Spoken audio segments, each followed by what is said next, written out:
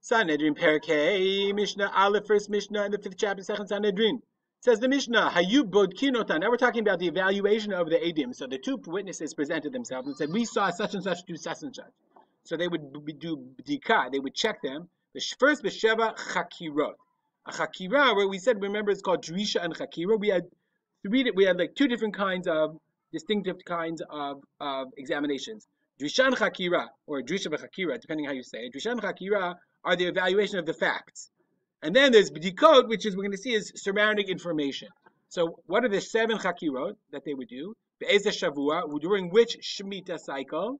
Be'ezah Shan, meaning you never know, maybe they came by, they did, there's no time, you know, statute of limitations. They came 10 years later. Be'ezah Shana, what year? Be'ezah Chodesh, what month? Be'kamba B'chodesh, what day of the month? Be'ezah Yom, what day of the week? Be'ezah Sha'ah, what time of the day? Be'ezah Makom, and where was it? Meaning they said, you know, Sideshow Bob, Sideshow Bob killed uh, Bart Simpson, and they say, okay, when and where? How? Rabbi Yossi Omer yom. Rabbi Yossi says no. They would just say be'ezah yom, be'ezah. What day, what time, and what place.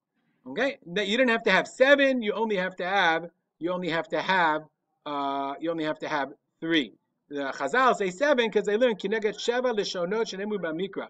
Okay, it says v'derashta v'chakakta v'sha'alta. There are seven languages of evaluation. One, two, and the rest of the seven you can look it up in the pasuk. Okay, but we learn we learned that from there you learn you have to have seven chakirot.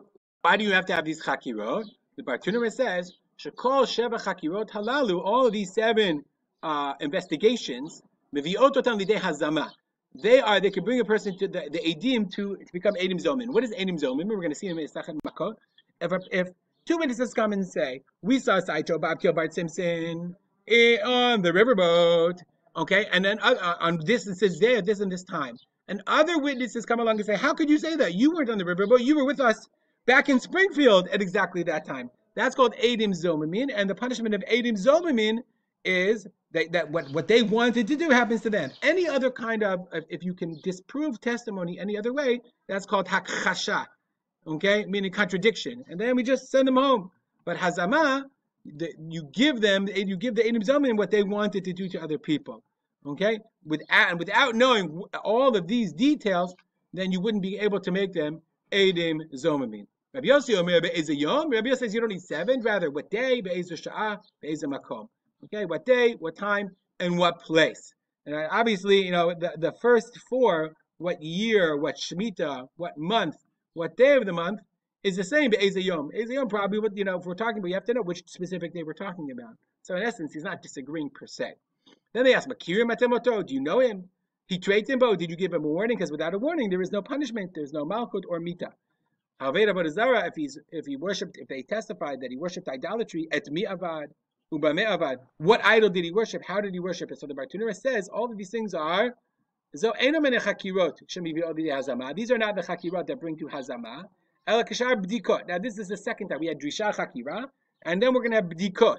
Rather, they are they, they can do other investigations. They can ask. He worshipped idols. What color was the idol? Where was he standing? How was he standing? These are bdikot.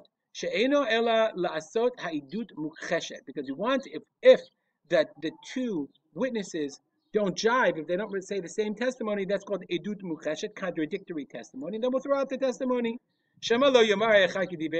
Maybe one won't say the same as the other. And then everybody's off the hook. So we, in addition to the b'dikot, the chakirot, we do these b'dikot to find out. I mean, to find, we're going to see that the b'dikot can be can be just in order to get the basic information, but it can become much deeper. You can miavad, me'avad, you can you can go into far, far greater information. All right, we'll stop here and dedicate our learning to Miriam, my father, Harab, Simcha B'Yitzchak Kalman. Have a good day.